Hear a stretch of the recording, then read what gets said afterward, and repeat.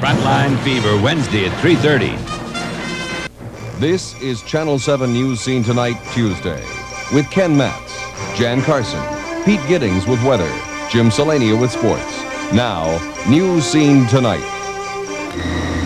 Good evening. This is News Scene Tonight, live from the streets of San Francisco in front of the Embarcadero Center. We have two major stories tonight. First, a natural gas leak and major PCB spill right here. Second, the medfly. Five medflies found in a new location in the state of California, Los Angeles, and resulting problems for farmers and shippers. First, the story of the gas main break and PCB contamination. The spill occurred this afternoon near Embarcadero Center. Tonight, a big cleanup is underway, including the steam cleaning of vehicles and the use of a vacuum truck to suck up the wastewater. A bigger job is still ahead, the cleaning of the street and the buildings before things can return to normal in one of San Francisco's busiest business sections. They say it can be done within the next six hours. Only time will tell. Ed McBride, the Director of Operations at Embarcadero Center, says all Embarcadero Center buildings will be open tomorrow. Here's a capsule report on how the whole thing developed today. It all began about 1.45 this afternoon when a private contractor using a crane at the corner of Sacramento and Battery punctured a 16-inch PG&E natural gas line. The high-pressure gas blew into the area around the Embarcadero Center and stayed in the pocket created by the high buildings. Evacuations were ordered because of fire or explosion danger, and some 25,000 people, employees, shoppers, and motorists, began to leave the area. Some said the evacuation order was unclear. There were charges of locked emergency doors. But eventually all made it out safely. Only two workers suffered minor injuries. But everyone noticed the fallout of an oily substance that coated cars, buildings, and some people. It took hours before that substance was identified as partly PCB, a hazardous chemical used by the utility up until three years ago as an insulator and a lubricant. The fire department at Cal OSHA ordered a quarantine. Pedestrians' shoes were washed. Workers suited up in protective gear. Dozens of cars may have to be decontaminated. They're sitting in the parking lot at Embarcadero Center number one. Lots of people's clothing may have to be destroyed. Who's going to pay for it all? Well, PG&E says that has yet to be determined. News Scene's Charles Thomas has been looking into the PCB contamination hazard.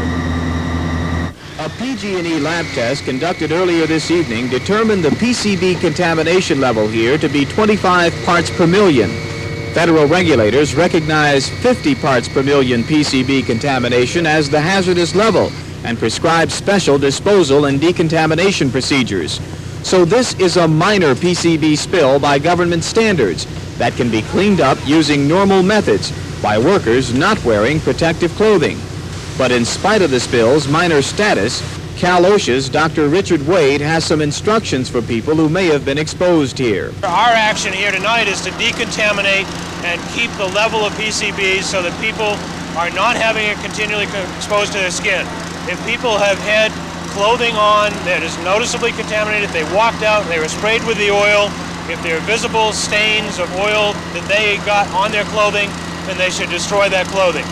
If they were just incidentally exposed, we don't and there's no visible stains. They should wash the clothes separately and uh, they can be reused. All shoes of any persons who walk through this area where the oil is on the ground or walk through the oil, those shoes should be destroyed. And cars should be washed with soap and water like any other dirty cars should be washed because, according to PG&E, the PCB contamination level here is only 25 parts per million. Now that 25 parts per million figure has raised some controversy here tonight. Here with me from the PCB project uh, in Sonoma County is Shavia Becklo, and uh, you're concerned about that 25 parts per million figure that we've been, that we've been hearing tonight. Yes, when I view what's going on down here, and they're doing all this for 25 parts per million, which is a very uh, is a very dangerous level, at least accordingly to the Court of Appeals as of October. Yet PG&E now, with an 18-month exemption, has stated this is still a legal level. If you now, you don't, you don't agree with that 25 parts per million is necessarily safe. Is that what you're saying? Uh, there's no safe level of PCBs. Every study that you ever find is talking in parts per million. What concerns me that's happening down here, especially with the restaurants and the is the fact if I'd like one person to show me PG&E's lab slip with the name of their well, lab on it. well, apparently the uh, that Cal OSHA has also determined that the PCB level here is 25 parts per million with their own independent tests, and uh, that is the situation. But of course, you don't agree that the 25 parts per million is, is, safe enough. At least that's what you had told me before. Right. Well, Cal OSHA number one doesn't even have a PCB standard on either the environment or uh, the level in humans. And I'd like to know where they also had their test done. I'd like to see it in black and white. Thank you very much, Ms. Bechtel. That's Sean Bechtel of the PCB project from Sonoma County. Ken Matz? Yeah, Charles, uh, state and uh, city officials are a little more optimistic than that, though. Jan? Ken, what about the cars that people have left in the Embarcadero Center? Do officials have any word on that tonight? Well, as far as we know, everything's got to be cleaned down here. They're concentrating right now first on the streets, then on the buildings, getting the buildings reopened, then they'll worry about the cars inside. Okay, Ken, that's the situation from the scene right now. We do have a studio model of the affected area, which we'll be taking a closer look at in just a few moments. But first, let's go back to how the area looked shortly after that gas line ruptured this afternoon, shortly after 2 o'clock. The people who saw the accident said the roar of the escaping gas was deafening, and the force of the rupture was felt by those inside the surrounding office buildings. Some described the leak as a rushing geyser, at one point shooting up four to five stories high, filling the air with a pungent odor and covering the area with an oily mist. We still don't know why the accident happened and no one has assumed responsibility for it. We do know how it happened. Two construction companies were working at the site, the future site of an office building. A crane operator for Santa Fe Pomeroy was doing some drilling when the line was ruptured.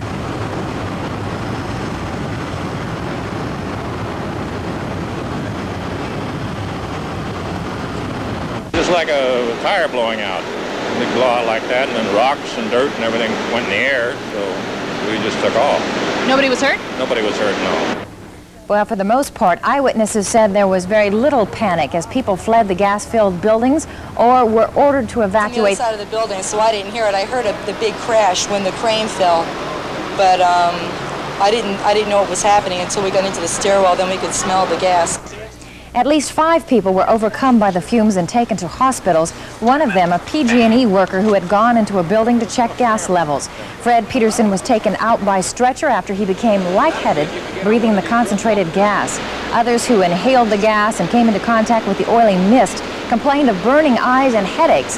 As crews worked to shut off the flow of gas, PG&E says service to 24 of its major customers were interrupted and much of the restaurant business in the area was shut down very early tonight because of the emergency. Now, as I mentioned, we do have a studio map of the affected area, the contamination area, as it is being outlined tonight. The boundaries, uh, California Street to the south, on the east, Drum Street, to the north, Clay is the boundary, and then to the west is Sansome. This is roughly an eight-block area, and officials are saying that people who were in this eight-block area when that spill occurred should take the precautions that we've just heard from uh, Charles Thomas. Now, the site of the gas line, gas line rupture occurred right here, Battery and Sacramento Streets. This is Embarcadero 1, uh, building two and three on uh, down Sacramento streets.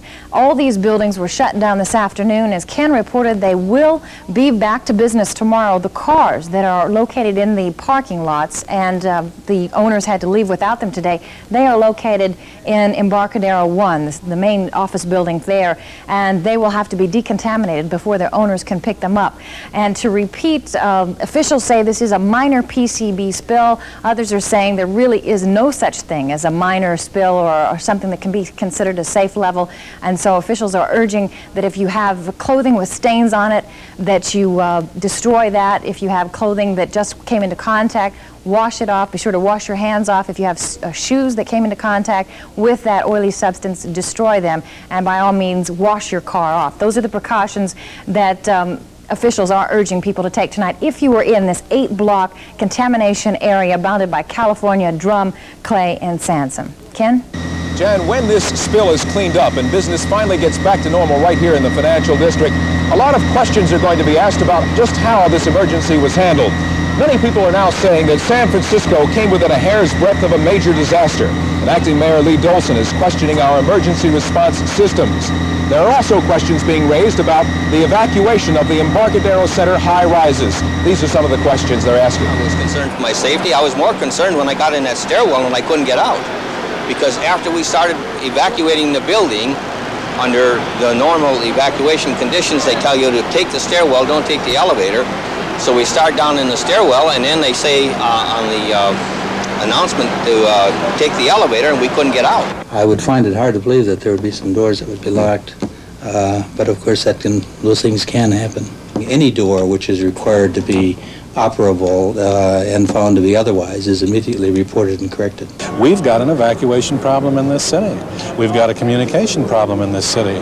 And in order to afford people a chance to survive any kind of natural disaster, uh, you've got uh, you've got to improve that uh, particular means to take care of it. Communication, transportation are really bad. I lost sound somehow. I don't know why. All these questions will certainly be uh, argued in the days and weeks ahead, and of course, when we get the answers, we'll put them on to you. Still I'm Steve. Hi, Suzanne. How are you? Good afternoon. Here's what's happening. San Francisco's financial district turned into a chemical war zone today. Emergency workers taking to the streets to try to get rid of the toxic chemical PCB. They used every weapon at their disposal today, and some of them were very conventional, soap and water and scrub brushes. In other cases, the tools were not conventional at all. What we were seeing right there was the high-rise fire at the hotel in Los Angeles. We'll get this back together in just a moment. There we're going now. Uh, in other cases, the tools were not conventional. Giant vacuum cleaners were stripping leaves off the trees in the area leaves coated with an oily layer of PCB. It all started yesterday afternoon when a construction crane tore open a gaping hole in a 16-inch natural gas main. Over 30,000 people were evacuated from that area around the Embarcadero by the time workmen got control of the high-pressure gas. What people at the scene did not know until late in the day was that PCB was also being spewed from that ruptured pipe and covering everything in the area with a fine mist. The people who were forced to flee their offices didn't know when they left for home last night whether they'd be able to go back to work today.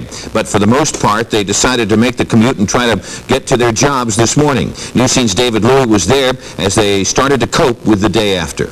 It was a new day for people coming to work at number one Embarcadero Center. As they paraded back to their offices, cleanup crews were still waging a campaign to rid the streets and sidewalks of PCB contamination from the gas leak. They had worked last evening, they worked through the night, and as day broke this morning, the job was far from finished.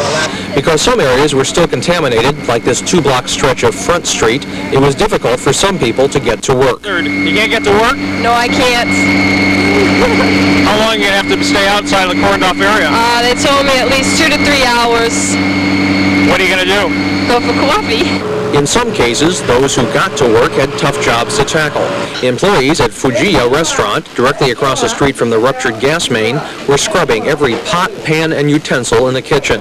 To be on the safe side, all food was thrown out for fear of PCB contamination. Large amounts of fresh shrimp, scallops, produce, even seasonings were dumped. A strange odor reeked through the restaurant, causing some workers to complain. Others refused to work at all. One of the managers estimated they lost over $3,000 in business. Office workers showed up even though some weren't feeling well. Betsy Thompson got a PCB shower yesterday as she evacuated a restaurant near the gas leak. I'm worried about it today, I'll tell you. Um, I haven't washed my hair yet and I should have. I should have. I'm, I'm a little worried. I feel miserable today. I feel, I feel nauseous. Uh, the, the scent is still out in the street today and I, I don't feel good today at all. PG&E crews are washing down everything that may have been contaminated, even utility poles and traffic lights. This is the way we wash street lights. They're using a solution of Penetone and water, which they hope will neutralize the PCB. But the problem is the wash water is landing back on the sidewalks, which have already been cleaned up. So the sidewalks will have to be cleaned again if the job is to be done right.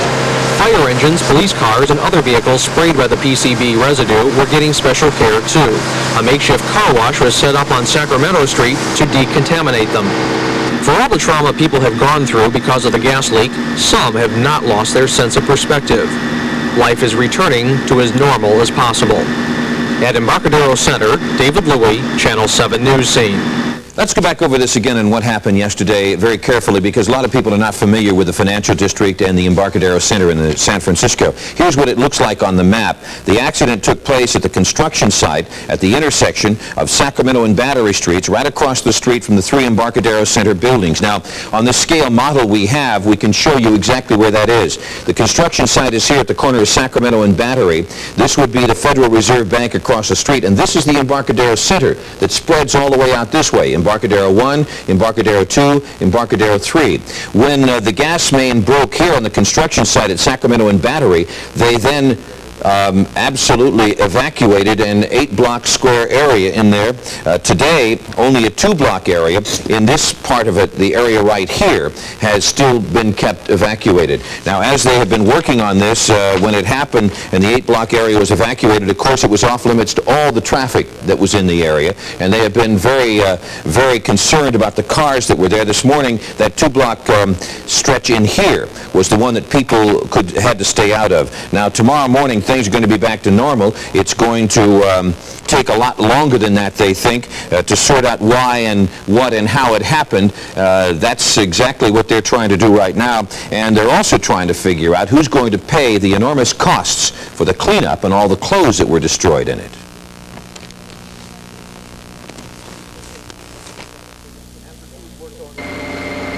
After crews worked all night long to try to clean up the mess, dawn broke and there was still a lot to do. The man who wound up taking charge and making most of the decisions in the heat of the battle was City Health Director Mervyn Silverman. Silverman refused to reopen streets when Pacific Gas and Electric seemed satisfied they'd done enough to clean things up. He demanded a more thorough job and he got it. Well, they're saying that they have they have cleaned up twice and they don't feel there's any problem uh, as long as they get the residue, the, the material they were using to collect this oil up and get it away, then I would agree with it. If the job looks expensive, it's because it's going to be. Estimates are very vague right now, but everybody seems to agree it's going to be in the millions of dollars. Now, PG&E owned the pipe and the gas and the PCBs that poured out of it. The company had to hire two firms that specialize in cleaning up toxic wastes, and already claims from merchants and people with ruined clothing are coming in. There's a lot of restaurants there, it's my understanding, happening when it did, the evacuation. People had late lunches, perhaps walked out, didn't pay their bills. That's something to consider. The uh, operations, the boutiques and what have you that had to shut down.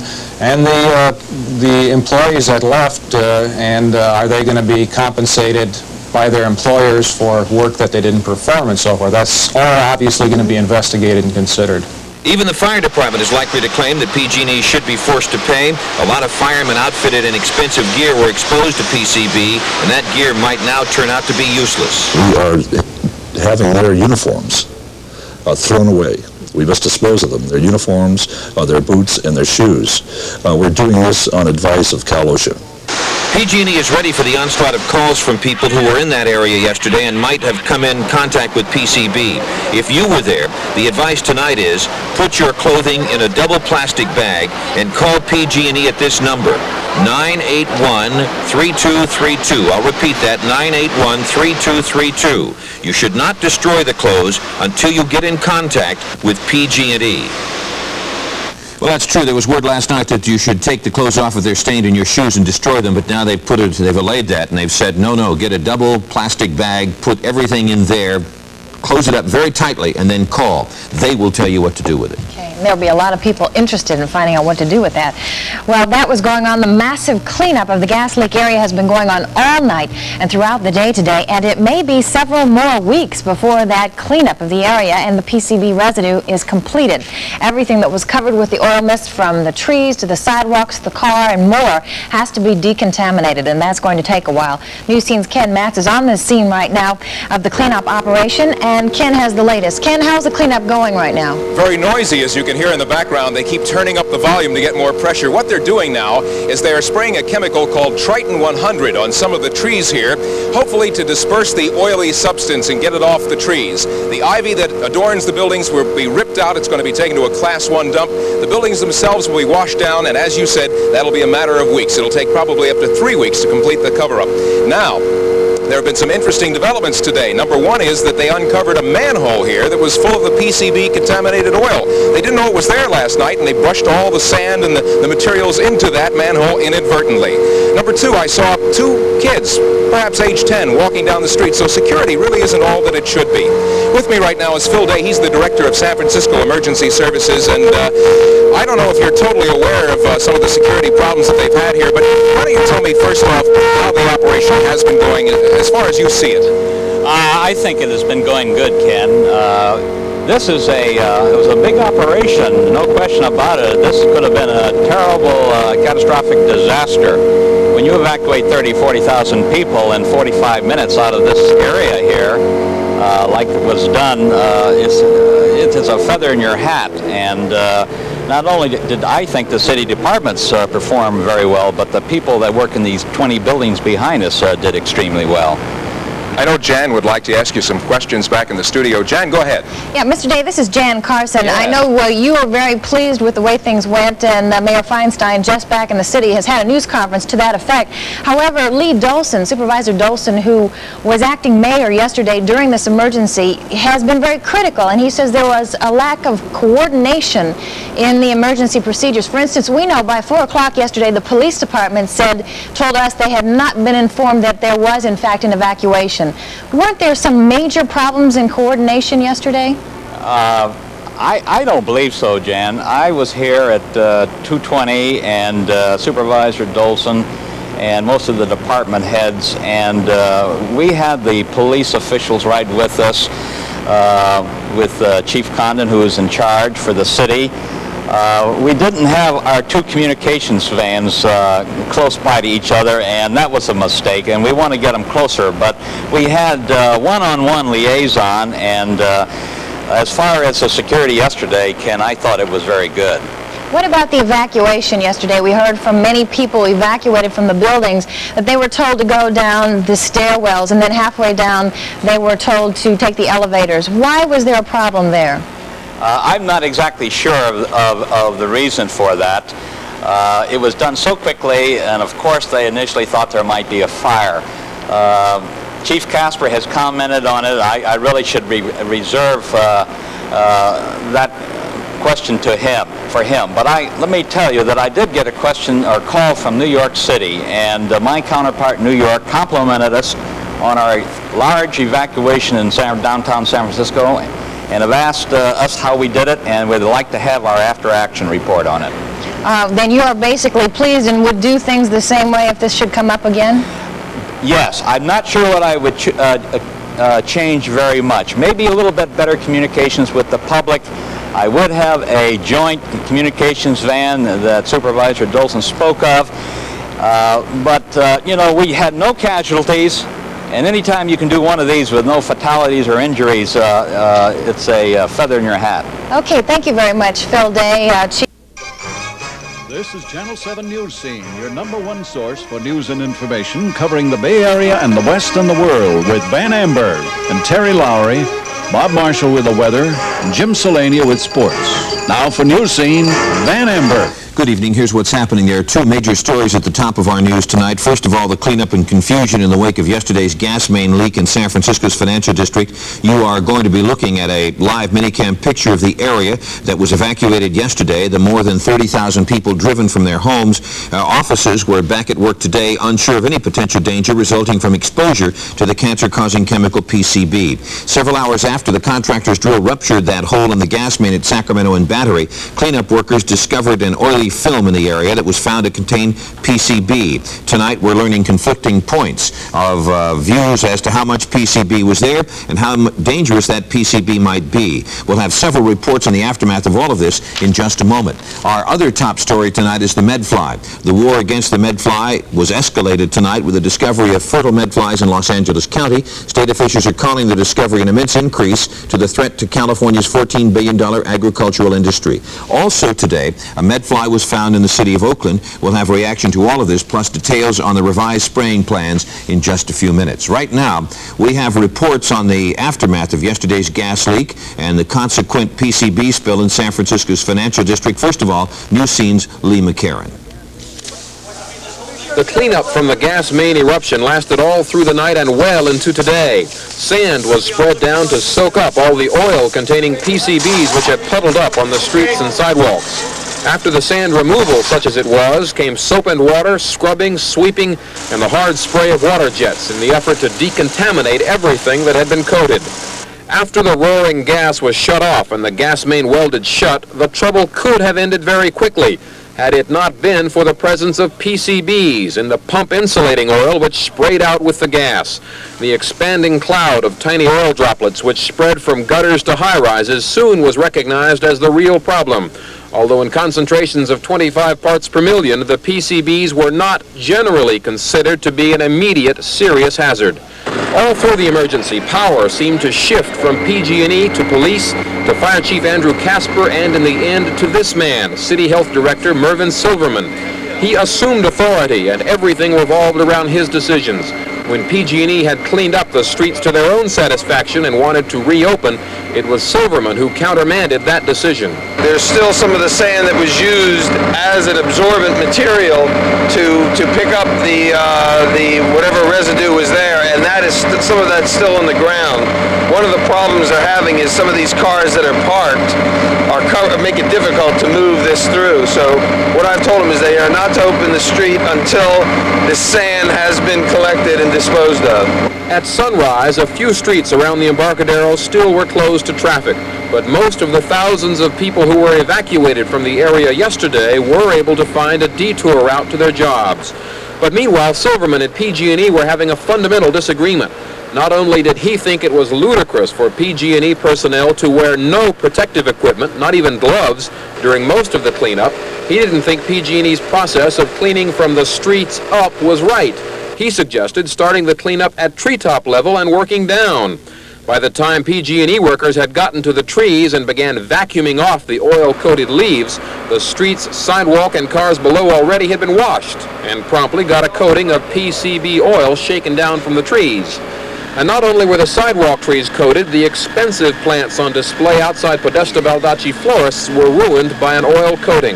When the explosion went off, we had a, a girl out here minding our flower stand operation. And evidently they were ordered to evacuate. The flowers were all left outside. They couldn't have a chance to put them inside. They put the money in the safe, locked the doors, and went. How much, uh, what was the value of the flowers out here? We're still making an inventory right now, and I talked, spoke to Mr. Stark of PG&E, and he told me that they're going to, you know, be responsible for everything and to make an inventory, and that's what we're in the process of doing now. The owners of Schroeder's restaurant likewise took a financial punch from the evacuation, which cut into their lunch crowd and eliminated dinner, as it did to several restaurants. That probably cost us somewhere around 2,500 to $3,000 last night because we had a lot of reservations and one thing else after another set up and people were calling. And after all, month of August is a big tourist season and we get a tremendous amount of tourists in our restaurant. Overall, the costs to businesses undoubtedly will run into the millions, not only in lost income and merchandise, but in lost productivity from the massive high-rise evacuation. In the financial district, Lee McCarron, Channel 7 News Scene. This is David Louie, and this is the scene that greeted workers this morning when they reported to their jobs at Embarcadero Center. Cleanup crews were still hosing down the PCB residue left by the ruptured gas main. The crews had worked all night, but the task was too much, even for the dozens of people assigned to the job.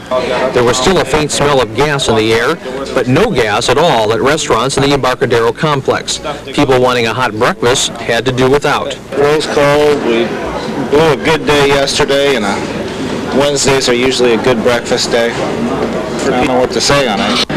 PG&E crews showed up just before 9 o'clock to restore gas service. The ruptured 16-inch gas pipe that created yesterday's problems had been patched overnight. Once the gas was turned back on, roving PG&E workers went around to light pilot lights and to make sure everything was working properly. The potential of a gas explosion yesterday forced hundreds of people to leave their cars overnight in the underground garage at number 1 Embarcadero Center. They were allowed to claim them this morning. I mean, you can feel the back of the car has oil on it.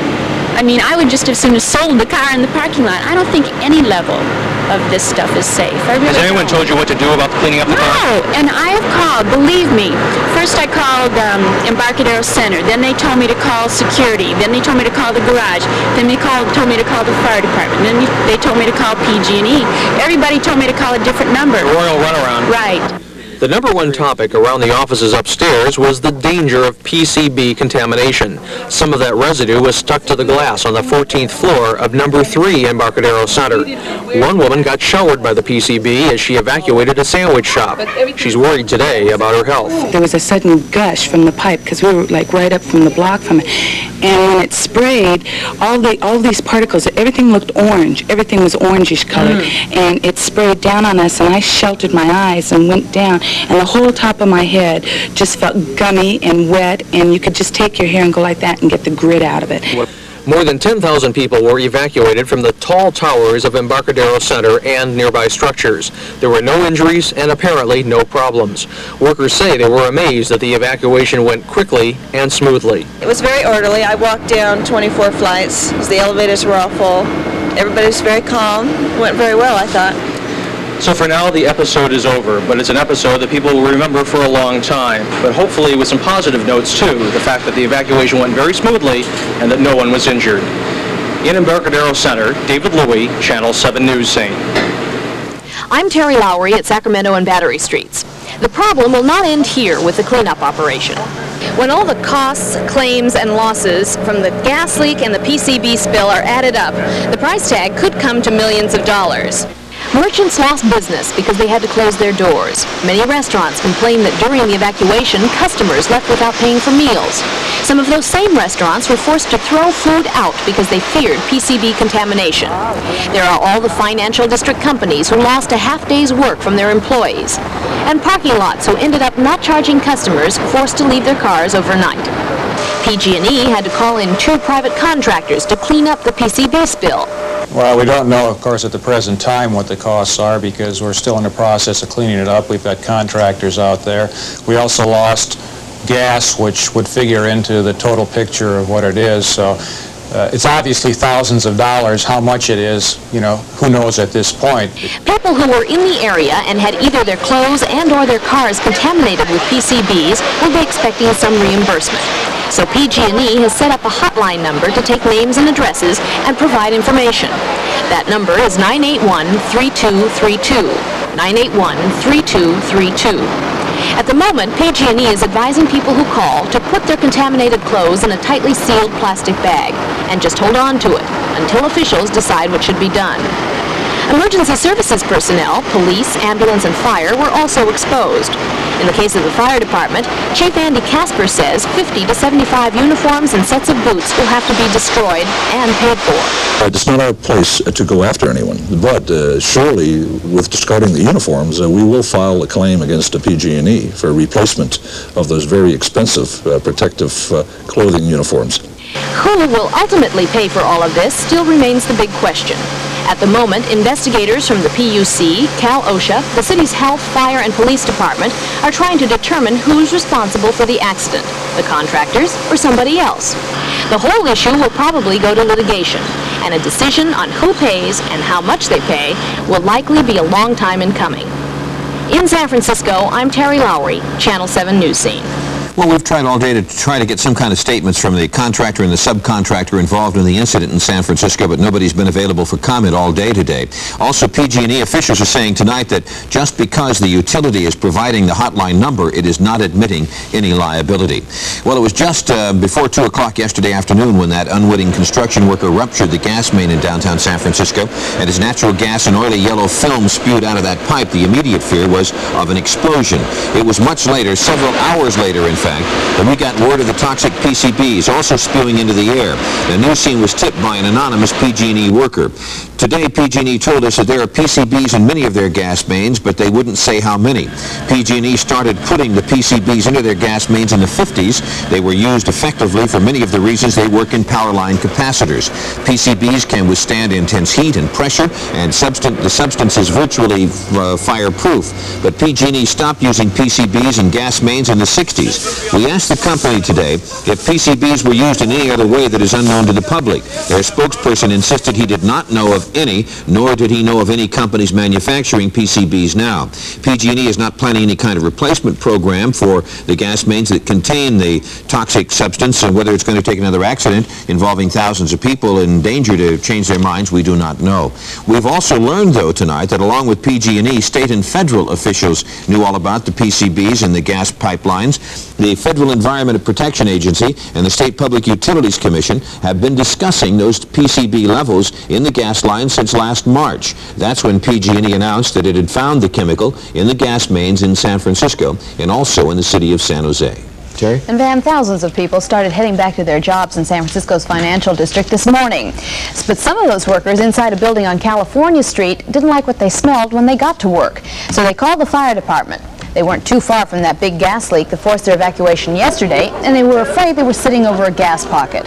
Firemen helped open all the windows to air out the offices, but not before one woman became ill and had to go home. Other employees complained of eye irritation. The firemen couldn't say for sure if it was some of the escaped natural gas, but they assumed that's what the bad smell was and gave the place a thorough airing out. Of course, the after effects of yesterday's big gas leak will continue to cause some controversy for some time to come. But right now, at the scene of the accident, life is beginning to get back to normal. But there is still some evidence of what happened. News Scene's Ken Matz is live in the financial district right now for an update on what's happening there at this moment. Ken? You're not going to believe this, but all day today and all night last night, we were inundated by the noise of heavy equipment and the big cleanup operation. As I look around today, at this hour, Hardly anything. It looks like everybody packed up and went home just before 5 o'clock. At least PG&E did. We're not sure about some of the other people who've been on the scene during the cleanup operations. We'll try to find out why, because they say the cleanup, the total cleanup, could last about three weeks here. We're also going to ask who's in charge, and we'll have Fire Chief Andy Casper and Dr. Mervyn Silverman coming up a little bit later in this broadcast. Thank you very much, Ken. Coming up a bit later on News Scene, as Ken mentioned, we will be discussing some of the charges and countercharges among city officials over the question of who's in command when a disaster like the one that happened yesterday does happen. Different kind of a problem in Santa Clara County right now. It's going to be another night of watching for the sewer officials in that area. The threat of a massive sewage spill is still very big because of numerous equipment breakdowns. Right now the plant is operating at the